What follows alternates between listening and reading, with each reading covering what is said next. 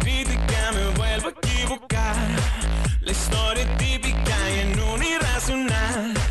Impulso eléctrico a mí